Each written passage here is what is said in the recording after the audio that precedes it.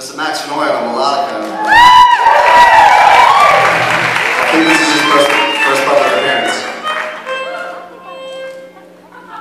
Well, he's been going around the bars and playing for a quarter, but this is the first stage